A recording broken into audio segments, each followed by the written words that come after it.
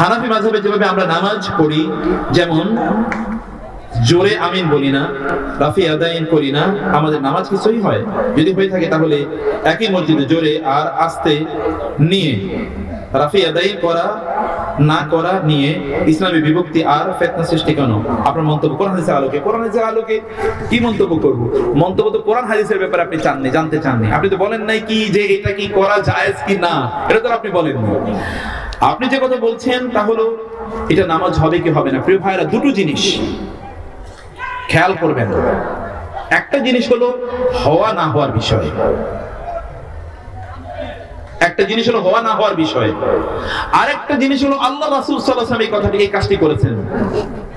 আল্লাহ রাসূল ওয়াসাল্লাম এই কাজটি করেছেন। আপনার কি মনে হয়, সাহাবায়ে কেরাম একটা প্রমাণ কেউ দেখাতে পারবে? সাহাবায়ে কেরাম এসে বলেছেন, ইয়া রাসূলুল্লাহ, এটা কি ফরজ নাকি নফল? রাসূল বলেছেন, তোমরা এটা করো। সাহাবায়ে কেরামরা তাই সাথে সাথে করা শুরু করে দিয়েছিল। সাহাবীদের স্পিরিট নিয়ে কাজ করুন। আপনি সাহাবী হতে পারবেন না, কিন্তু এই স্পিরিট তো আপনি লালন করতে পারবেন। অতএব আল্লাহ রাসূল সাল্লাল্লাহু আলাইহি ওয়াসাল্লাম এটি করেছেন। বহু হাদিসে এবং সব হাদিস সহি। রাসূল সাল্লাল্লাহু রাফি আদান করেছেন। জোরে আমিন বলেছেন রাসূল সাল্লাম এবং তিনি বলেছেন, তোমরা যখন আমিন বলো, তখন ফেরেশতারা তোমাদের সাথে কি বলে? আমিন বলে। রাসূল বলেছেন, যখন ফাইদা আম্মানাল ঈমানু ফাআমিনু ঈমান যখন আমিন বলে, তখন তোমরা আমিন বলো। ইমাম কখন আমিন বলবে? ইমামের আমিন কি আপনি শুনবেন? যদি ইমাম মনে মনে আমিন বলে, আপনি কীভাবে শুনবেন বলেন তো? তার মানে ইমাম ধরে আমিন বলেছে অথবা আপনি কি বলবেন?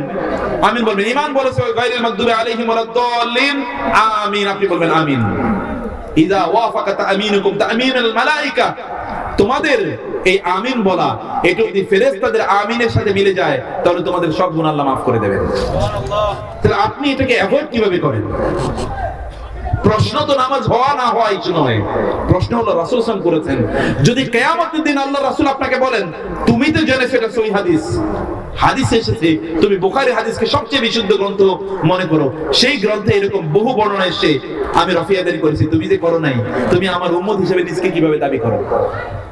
আমি তোমাকে সুপারিশ করতে পারব না।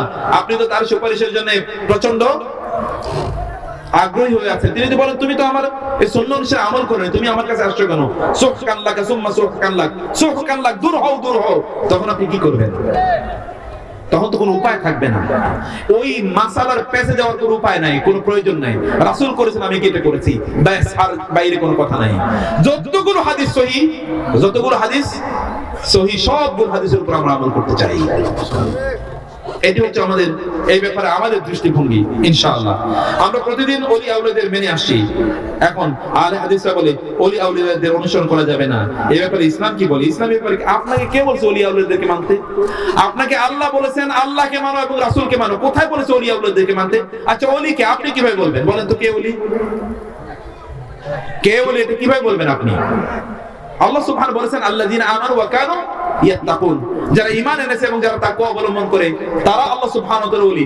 এখন কে ঈমান আনলো? কার ঈমানের মধ্যে ভেজাল আছে? কার ঈমানের মধ্যে ভেজাল নেই? আপনি কীভাবে জানেন? রাসূলুল্লাহ সাল্লাল্লাহু আলাইহি ওয়াসাল্লামের যুগে, যুদ্ধের ময়দানে একজন মারা গেলে বললেন, হায়, কি এই তার ব্যাপারে প্রচুর গুণগান। রাসূল বলেন তুমি কীভাবে জানো যে সে আল্লাহর জন্য জিহাদ করেছে? তুমি কীভাবে জানো? রাসূল সাহেবের যুগে একজন মারা গেল, একজন একজন সাহাবী, মহিলা সাহাবী। তিনি বলেন তোমার জন্য, ওই ব্যক্তির জন্য, তোমার জন্য সুসংবাদ, তুমি তো জান্নাতি। রাসূল বলেন তুমি কীভাবে জানো জান্নাতি? হতে পারে এমন একটা আমল করেছে, যেই কারণে আল্লাহ তার উপর প্রচণ্ড রাগান্বিত হয়ে আছেন। এটা যদি আল্লাহ রাসূল বলে, তাইলে আল্লাহ রাসূল তিনি কোনদিন তিনি গায়েব জানেন কথা তিনি বলতেন না। লা আকুল লাকুম আরদ আ'লামুল গায়বা আকুল লাকুম মালাক। আমি তোমাদেরকে বলি না, আমার কাছে সব খাজিনা, ধন ভান্ডার আছে, আমি গায়েব জানি, আমি তো তোমাদেরকে বলি না। আমি তো জানি না কে কি হয়েছে, কে জান্নাতি কে জান্নাতি আমি জানি না। যতক্ষণ না আল্লাহ আমাকে জানি না। আল্লাহ তাকে না জানেন তিনিও তো বলতে পারেন না কে জান্নাতি কে জান্নাতি তিনি কীভাবে বলবেন? যদি ফেরেশ, যদি জিবরিল এর মাধ্যমে অথবা আল্লাহ অন্য কোনো মারফতে তাকে না জানান। তাহলে তো তারও জানার কথা নয়। সেই জন্য প্রিয় ভাইরা কে আল্লাহর ওলি, কে আল্লাহর ওলি না, এগুলো নিয়ে মাথা ব্যথা করেন না। আর আল্লাহ কোথায় বলেছে আপনাকে আল্লাহর ওলিদেরকে আপনি অনুসরণ করতে? সিরাত আনআমতা আলাইহিম মিনান নাবিয়িনা والصديقين والشهداء والصالحين صراط الذين أنعمت عليهم আপনি আল্লাহর কাছে দোয়া করবেন হে আল্লাহ তুমি আমাকে সেই পথে পরিচালিত করো যেই পথে তুমি পরিচালিত করেছিলে নাবিয়িন সিদ্দিকিন শুহাদা ওয়াস সালিহিন আপনি তো আল্লাহর কাছে চান আপনি অনুসরণ করেন নাকি খেয়াল করবেন কথা কোরআনকে বুঝতে হবে এই দেনা সিরাতাল মুস্তাকিম আমাকে তাদের পথ দেখান আপনি আল্লাহর কাছে প্রার্থনা করছেন এবং আল্লাহ সুবহানাহু বলেছেন আপনি তাদের পথ অনুসরণ ইত্তাবিউ ইত্তাবি সাবিলা মান আনাবা ইলাইহি। আমার কাছে যে বারবার ফিরে আসে, ওই সকল ব্যক্তির কথা আল্লাহ সুবহানাহু বলেন, তাদের পথ অনুসরণ করার কথা। এদের ব্যাপারে, যাদের ব্যাপারে আল্লাহ কোরআনে সার্টিফিকেট প্রদান করেছেন, যেমন সাহাবীদের ব্যাপারে, নবী রাসূলদের ব্যাপারে, তাদের পথ আপনাকে অনুসরণ করতে বলা হয়েছে। আপনি কাকে ওলি হিসেবে দাবি করেন? আপনি যাকে ওলি হিসেবে দাবি করেন, তিনি জান্নাতের গ্যারান্টি আপনাকে কে দিয়েছে বলেন? আপনার কাছে কি ওহি আসছে নাকি? যদি আপনি এই দাবি করে থাকেন, তাহলে তো আপনি এর মধ্যে কি দিন থেকে খারিজ হয়ে গেছেন। আর তো আপনার দিন নাই। আপনি যদি মনে করেন যে ওহি আপনার কাছে আসছে, তাহলে তো আপনি কি ভণ্ড নবীর দাবিদার? আপনি তো এর মধ্যেই মোরতাদ হয়ে গিয়েছেন। দিন তো আপনার, দিন থেকে অনেক আগে আপনি খারিজ হয়ে গিয়েছেন। অতএব রাসূল সাল্লাল্লাহু আমরা তো সকলেই কথা বলি। রাসূল বিদায় হজের ভাষণে বলেছেন, আমি তোমাদের জন্য দুটো জিনিস রেখে গেলাম। মা ইন তামাসসাকতুম লাম তাদিল্লু, মা ইন তামাসসাকতুম বিহিবা এই দুটো ধরে থাকলে তোমরা কোনোদিনই পথভ্রষ্ট হবে না। কিতাবাল্লাহি ওয়া সুন্নাত রাসূলি আল্লাহর কিতাব এবং তার রাসূলের সুন্নাহ। কোরআনে বারবার আল্লাহ বলেছেন, আতিউল্লাহ ওয়া আতিউর রাসূল। ফালা ওয়া রাব্বিকা লা ইউমিনুনা হাত্তা ইউহাক্কিমুকা ফীমা শাজারা বাইনাহুম। রাসূল বারবার, আল্লাহ তাআলা বারবার বলেছেন তার রাসূলকে অনুসরণ করার কথা। আর আমরা আছি অন্য কাউকে অনুসরণের কথা নিয়ে। বর্তমান যুগে জিহাদের ধারণাটা কেমন হওয়া উচিত? বর্তমান কি বাতিলের বিরুদ্ধে জিহাদের সময় এসেছে? জিহাদ মানে কি বলেন তো? শব্দ তো বুঝতে হবে। একটা হলো জিহাদ একটা হলো কেতাল। একটা হলো কি? জিহাদ, আরেকটা কি? কেতাল। কেতাল হলো সরাসরি যুদ্ধে অংশগ্রহণ করা। কেতাল কি? সরাসরি যুদ্ধে অংশগ্রহণ করা, যেগুলো রাসূল সাল্লাল্লাহু করেছেন। কেতাল। কুতিবা আলাইকুমুল কিতাল ওয়া হুয়া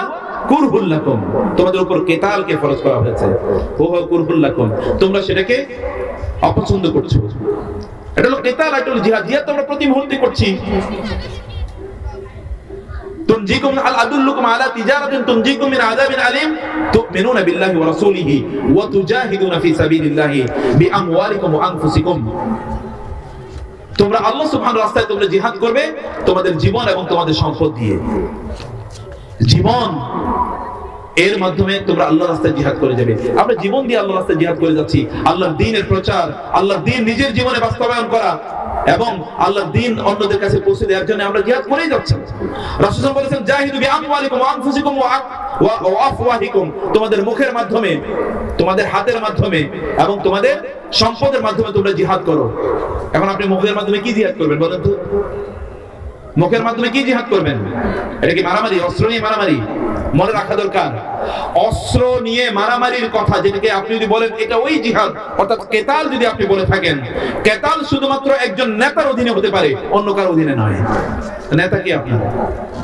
আমি, আপনার নেতা অমকে, তার নেতা অমকে, তার নেতা, তাহলে তো এটা মারামারি। এটাকে জেহাদ কে বলব এরা তো যে পথভ্রষ্ট সেটাকে জিহাদ বলেছে। ও তো জিহাদের সঙ্গেই বুঝে নাই। জিহাদ যদি এটা হয় যে অমকে, আপনার নেতা অমকে, অমকের বিরুদ্ধে ডাকলো, অমক, অমকের বিরুদ্ধে ডাকলো, এখন তো বাংলাদেশের যা পরিস্থিতি, তাতে তো এখানে মুসলমান একজনও নাই। অমকের দৃষ্টিতে অমকে কাফের, অমকের দৃষ্টিতে অমকে মোরতাদ, তাহলে প্রত্যেকের বিরুদ্ধে প্রত্যেকের জিহাদ করা ফরজ। তাহলে এটা মারামারি পুরো ছাড়া আর কিছুই না। এটা তো এক ধরনের কি?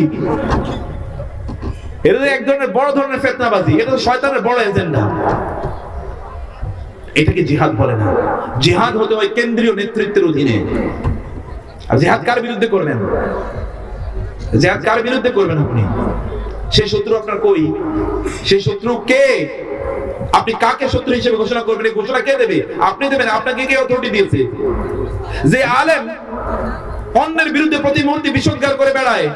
তার কথা অনুসারে না চলে সে সবাইকে ফেতনাবাজ। অথবা প্রত্যেকে জাহান্নামী বানায়। এই সকল আলেমরা নিজেরাই যেন জাহান্নামের মানুষের জাহান্নামে নেয়ার ফ্যাক্টরি ওরা খুলেছে। আল্লাহ রাসূল এসেছেন মানুষকে জান্নাতে নেয়ার জন্য, কিন্তু ওরা এসেছে কোথায়? কি জন্য?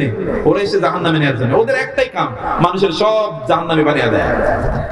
সে আপনার কিসের জেহাদের প্রতি আহ্বান দেয় করে ও তো তার নফসের বিরুদ্ধে জেহাদ করে। সে তো তার নিজের পথ এবং মতকে প্রতিষ্ঠা করার দিকে সে আহ্বান করছে। এটি জিহাদ নয়। এটি আসলে কি? এটি আসলে হলো মারামারি, এটি আসলে ফেতনা, এটিকে জিহাদ বলে না।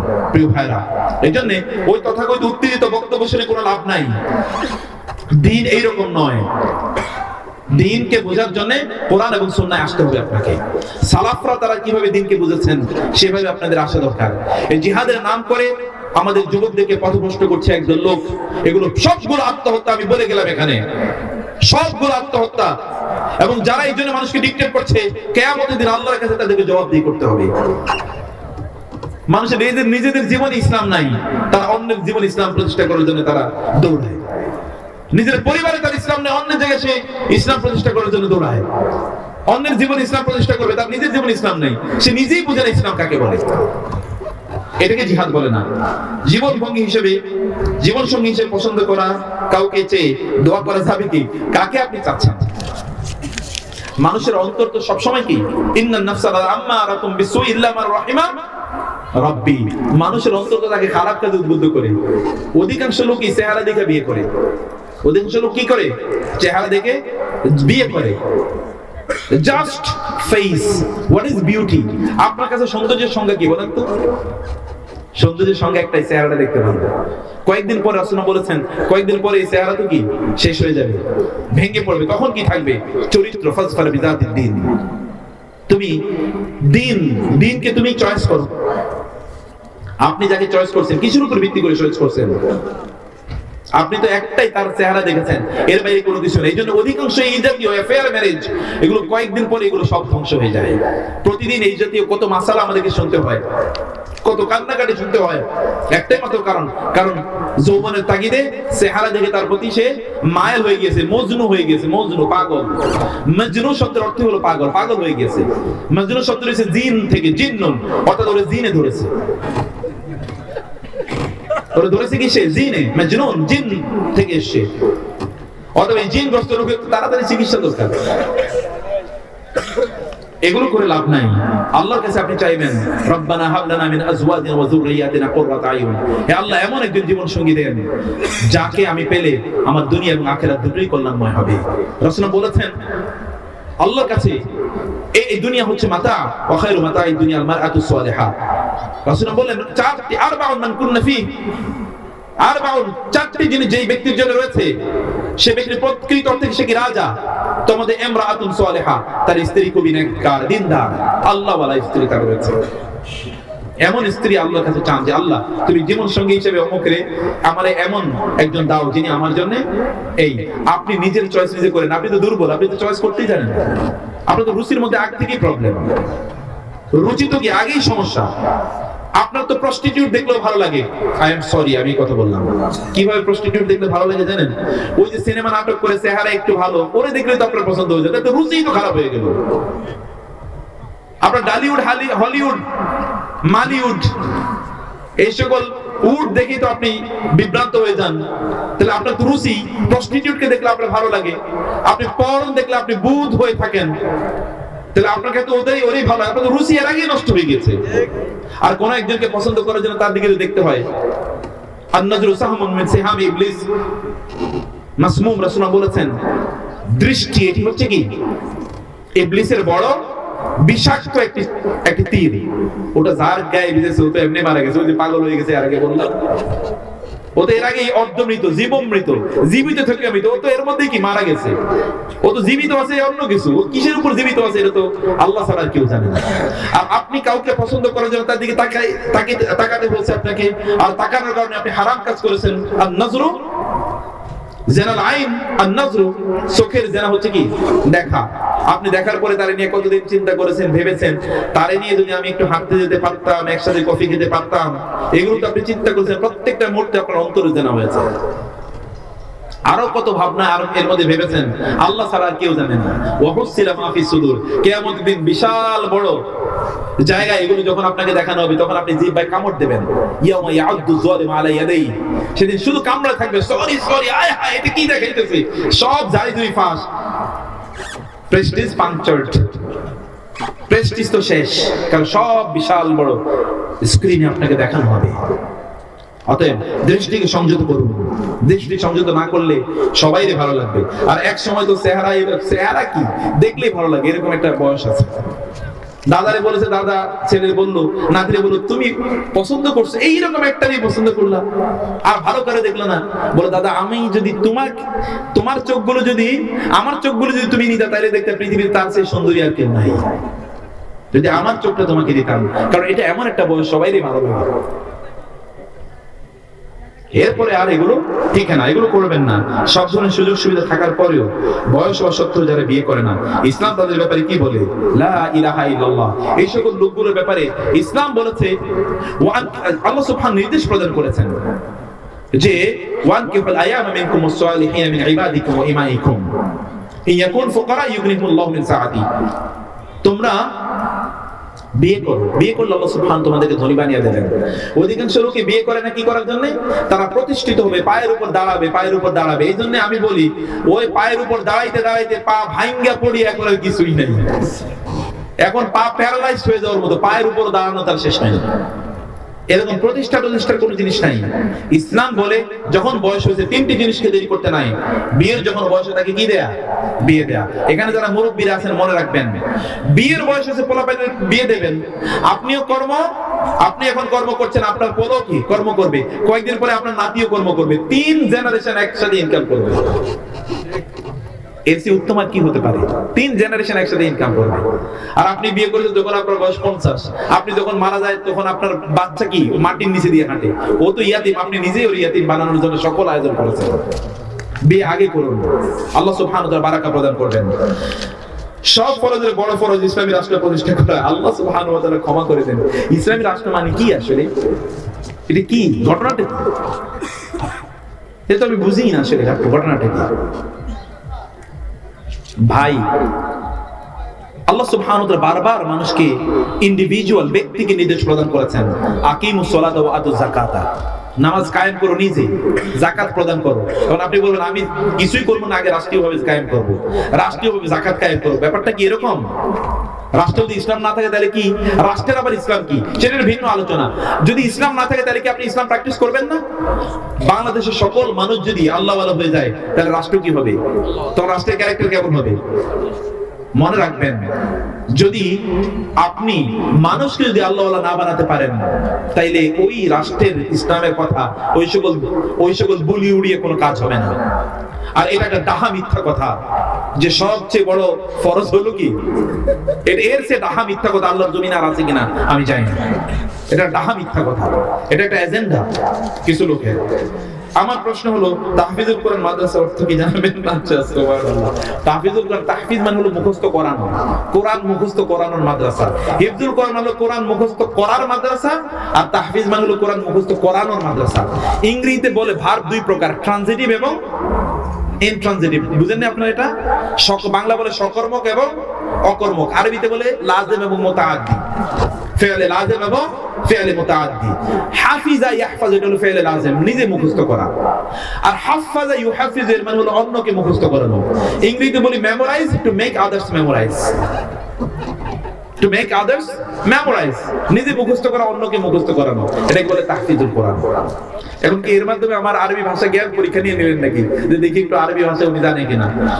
আসসালামু আলাইকুম মোহতারাম ওয়ালাইকুম সালাম। আপনার আগের বক্তা বলে গেলেন, সালাফিগণ সরকারের আনুগত্য করে। কিন্তু সরকার যখন রাম বা মূর্তি পূজাদের সঙ্গে হাত মিলিয়ে ইসলাম বিদ্বেষী কাজকর্ম করে, তখন আপনারা কি ভূমিকা পালন করে দেখুন, এটা একটা ভিন্ন, আপনি অন্য জায়গায় আলোচনা নেবেন না।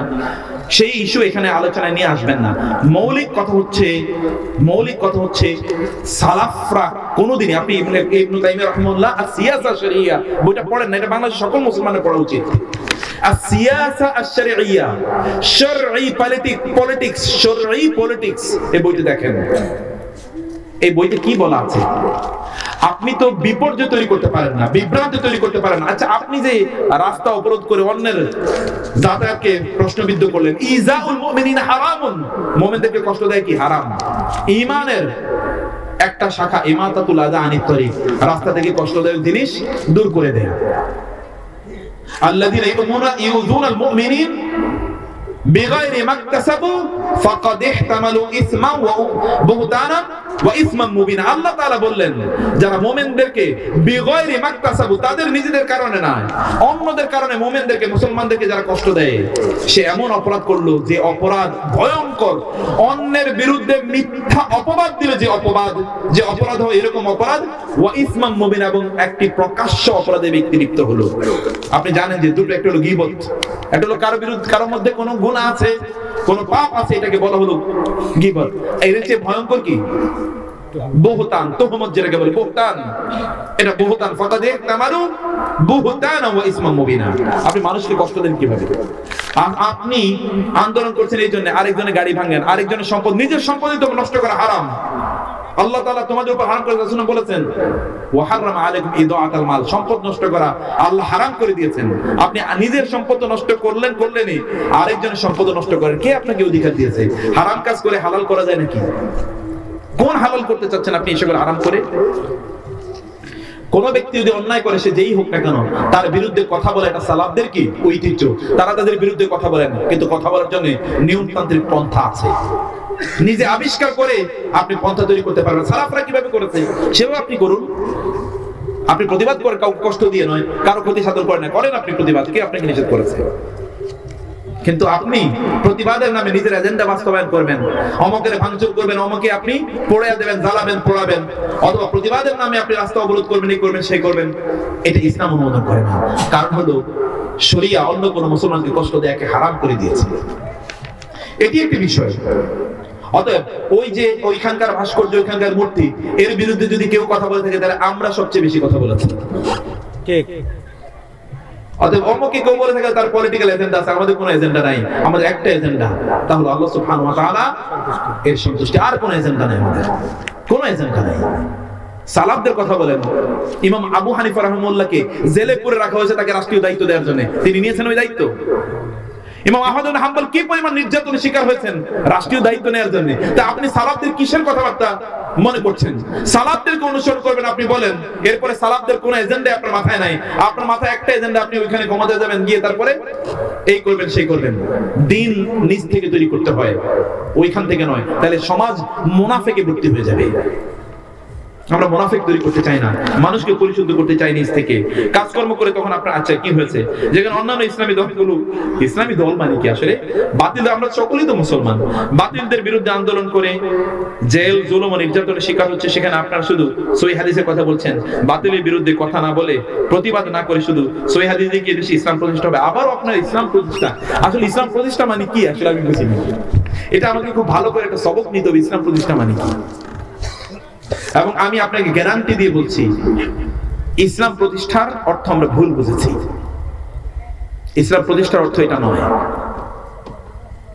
ওটা একটা পলিটিক্যাল এজেন্ডা এটা পলিটিক্যাল ইস্যু ওটা রাজনৈতিক ইস্যু ইসলাম প্রতিষ্ঠা করতে হয় আসলে কি? নিজ থেকে আল্লাহ রাসূল ইসলাম কি করেছেন বলুন তো? রাসূল ইসলামের পন্থা কি ছিল? তার পন্থা এবং সাহাবাই কামরাদি আল্লাহ তাদের পন্থাটা অনুসরণ করুন। আর আপনি যদি বলেন যে প্রতিবাদ সই হাদিস সই হাদিস ছাড়ার কি? আপনি কি তাহলে বারবার একটা হাদিস দিয়ে তারপরে ইসলাম প্রতিষ্ঠা করতে চান নাকি? লা ইলাহা ইল্লাল্লাহ। আপনি সই হাদিস দিয়ে আল্লাহ রাসূল যা বলেছেন এর বাইরে যদি আপনি দিন খুঁজতে চান তাহলে তো দল্লু ও আদাল্লু। নিজেরাও পথভ্রষ্ট হয়েছে অন্যরা পথভ্রষ্ট হয়ে গেছে। অনেক হুজুর এই বলেন কোরআন মাজিদ বাংলায় পড়লে নাকি আমি পথভ্রষ্ট হয়ে যাব এই বিষয়ে কিছু বলেন। প্রথমত কথা হচ্ছে কোরআন হাদিস বাংলায় পড়া মানে হচ্ছে বাংলার উচ্চারণে পড়া, এটা হারাম, খেয়াল করবেন। কোরআন, হাদিস না, কোরআন বাংলা উচ্চারণে পড়া কি? হারাম, বুঝেন কথা? বাংলা উচ্চারণ, আলহামদু হওয়াকারে হা। আপনি কি হা কে বাংলা উচ্চারণ করতে পারবেন? না। বাংলাতে লিখতে পারবেন না, আলহামদু। আলহামদু মানে হচ্ছে সকল ছেড়া তেনা, যেটাকে আমরা কি বলি এগুলোকে? নেকড়া, জামা কাপড়, এগুলো সব আল্লাহ সুবহানাহু তাআলার জন্য আর আলহামদু মানে সকল প্রশংসা আল্লাহর জন্য। কুল বলুন আর বলেন, কুল খাও। পার্থক্য আপনি আমরা সারা রাতে আলোচনা করতে পারব। তাহলে আপনাকে বুঝতে হবে যে কোরআন কি? কোরআন তো আরবি ভাষা নাজিল হয়েছে। ওই উচ্চারণে আপনাকে পড়তে হবে। এই বাংলায় উচ্চারণ অথবা বাংলা উচ্চারণ লেখা হয়েছে, যেটাকে ইংরেজিতে বলে ট্রান্সলিটারেশন প্রতি বর্ণায়ন এটা হারাম। এটা করতে পারবেন না আপনি। কিন্তু বাংলা অনুবাদ করবেন না, এটা যারা বলেছে সে নিজেই পথভ্রষ্ট। তার আসলে এজেন্ডা আছে ভিন্ন। তাহলে আপনি কয়েকটা টাকা নিয়ে তার কাছে যাবেন, ও আপনাকে দুই চারটা কথাবার্তা বলবে, এর মাধ্যমে তার নিজকে সে বিক্রি করবে, এটাই তার একমাত্র জীবন এবং জীবিকা এইটাই তার এজেন্ডা এই জন্য আপনাকে ও ইসলাম পড়তে দেবে না। যদি আপনি পড়েন, তাহলে তোকে আপনি চ্যালেঞ্জ করবেন, আপনি এই কথা কেন বলেন? তো কোরআন হাদিসে নাই। ও তো আপনাকে জ্ঞান বিতরণ করার জন্য আসেনি। ও মূলত করছে যা তাহলে আপনাকে অজ্ঞ রেখে, অন্ধ রেখে যেই কাজটি করেছিল ইহুদিরা, অন্যদেরকে অজ্ঞ রেখে, অন্ধ রেখে তাদেরকে যা মনে চায় তা ফতুয়াবাজি করে বেরিয়েছে। আপনি কোরআন পড়বেন। কোরআন আল্লাহ সুবহান নাজিল করেছেন, আফালা ইয়াতাদাব্বারুনা কুরআন আম আলা কুলুবিন আকফালুহা? তারা কি কোরআন বুঝবে না নাকি তাদের অন্তরে তালা মেরে দেওয়া হয়েছে? আল্লাহ সুবহানাহু বললেন কিতাবুন আনজালনাহু ইলাইকা মুবারাকুন লিয়াদাব্বারু আয়াতি ওয়া লিয়াতাযাক্কারা উলুল আলবাব। আমি বরকতময় কিতাব নাযিল করেছি যেন এর ব্যাপারে তোমরা গভীরভাবে চিন্তা করো এবং এখান থেকে জ্ঞানীরা বুদ্ধিরাই শুধুমাত্র বুদ্ধিমানরাই শুধুমাত্র এখান থেকে শিক্ষা অর্জন করতে পারে। কোরআনকে পড়বেন কোরআনের তাফসীর পড়বেন। এখন আপনাদের এই যে মানহাজ আপনারা যারা অবলম্বন করছেন আপনাদেরকে দেখি তো ওদের মাথা ব্যথা হয়ে গেছে। আয় হায় এই সকল পোলা পাইন জীবনে কোনোদিন মাদ্রাসায় পড়ে না। ও তো দেখি আমার চেয়ে বেশি দলিল জানে। ও তো মাথা গরম এই কারণে। ওই জন্য তোর ঘুম হারাম হয়ে গিয়েছে। সে দেখে যে আমি এত পড়লাম, আমি কিছুই জানি না। না হাদিসের কোনো বর্ণনা জানি, না হাদিসের আমি নিশ্চিত করে আপনাদেরকে বলছি, আঠারো বছর, বিশ বছর পড়েছে। একটা হাদিসের এবারও তো বলতে পারবে না, অথবা একটা হাদিসের রেফারেন্স দিতে পারবে না, এটা ওই গ্রন্থগুলো যে হাদিসের গ্রন্থ আছে, এই গ্রন্থগুলোর নামও বলতে পারবে না এদিক অধিকাংশ অবস্থা এরকম। কিন্তু আপনারা আলহামদুলিল্লাহ একটু দিন শিখেছেন, নিজেরা পড়াশোনা করছেন, এখন আপনাদের কাছে এরকম হাজার হাজার হাদিস আপনাদের জানা এবং মুখস্থ, ওর তো পালস পিটিশন শুরু হয়ে গেছে এই জন্যই সেজন্য তার এত বড় টেনশন আপনার জ্ঞান অর্জন করতেই হবে, কোরআন এবং হাদিস পড়ুন। আমি যে কথা শুরুতেই বলেছিলাম, বহু লোক তারা কোরআন পড়ে। বহু লোক তারা কোরআন পড়ে, তারা দিন বুঝেছে এবং দিন এর কাছে তারা চলে এসেছে। কিসের উপর তারা কিসে কোরআন পড়ে? তারা অনুবাদ পড়েছে। কোরআন অনুবাদই কোরআন নয়, সেটা একটা ভিন্ন কথা, কিন্তু কোরআনকে বোঝার একটা প্রয়াস। আল্লাহ সুবহানাহু ওয়া তাআলা আমাদেরকে দ্বীনি জ্ঞান অর্জন করার তৌফিক দান করুন। আল্লাহ সুবহানাহু ওয়া তাআলা এই মাহফিলকে কবুল করে নিন। যুবকরা যারা এখানে অংশগ্রহণ করেছেন তাদের প্রত্যেককে আল্লাহ সুবহানাহু ওয়া তাআলা খালিদ ইবনে ওয়ালিদের মতো এরকম তেজস্বী ঈমানদার সেফাসালার হিসেবে কবুল করে নিন। এবং ওমর রাদিয়াল্লাহু তাআলার মতো এরকম জজবাওয়ালা মুমিন হিসেবে কবুল করে নিন। এবং আল্লাহ সুবহানাহু ওয়া তাআলা আমাদের প্রত্যেককে সালাউদ্দিন আইয়ুবীর মতো দিন মানুষের কাছে ছড়িয়ে দেয়া এবং দিন এর প্রতিষ্ঠা, যে প্রকৃত প্রতিষ্ঠার কথা আমরা বলছি, এই প্রতিষ্ঠা করার মতো তাকত, তৌফিক আল্লাহ ওয়া আমাদেরকে দান করুন। এবং ইবনে তাইমিয়া, ইবনে রাহিমাহুল্লাহ, তারা যেভাবে দিনকে শিখেছেন, এইভাবে যেন আমরা দিনকে বুঝতে পারি, সেই তৌফিক আল্লাহ আমাদেরকে দান করুন। মানহাজটাকে বুঝার তৌফিক দান করুন। এবং সালফে সালিহিনের জীবন স্টাইল তাদের লাইফস্টাইল অনুসারে আমাদের জীবনটাকে যেন আমরা পরিচালিত করতে পারি, সেই তৌফিক দান করুন। আল্লাহ আমরা যা কিছু জানি, যা কিছু আমরা করি তার জন্য হক জানি এবং সৎ বুঝি। হক যেন বুঝি, এই তৌফিক তুমি আমাদেরকে দিও আল্লাহ। আল্লাহ, তোমার সন্তুষ্টির জন্য কেবল কথা বলা এবং কাজ করা তৌফিক দিও। আমরা যা কিছু জানি, তার জন্য আমরা আমলে বাস্তবায়ন করতে পারি, সেই তৌফিক দান করো। আমাদের পরিবারগুলোকে কবুল করে নিও আল্লাহ। আমাদের পূর্বসূরীদের মধ্যে যারা মারা গিয়েছেন তাদেরকে তুমি ক্ষমা করে দিও যারা বেঁচে আছেন তাদেরকে তুমি হায়াতে তৈবা দান করো যারা অসুস্থ তাদেরকে তুমি সুস্থ করে দাও যারা সুস্থ তাদেরকে তুমি দীর্ঘজীবিত দান করো যারা বেঁচে আছে তাদেরকে তুমি ভালো রেখো আল্লাহ যাদের যত অভাব অনটন আছে সকল অভাব অনটন তুমি দূর করে দাও أقول قولي هذا واستغفر الله لي ولكم ولسائر المسلمين سبحانك اللهم وبحمدك أشهد أن لا إله إلا أنت أستغفرك وأتوب إليك والسلام عليكم ورحمة الله وبركاته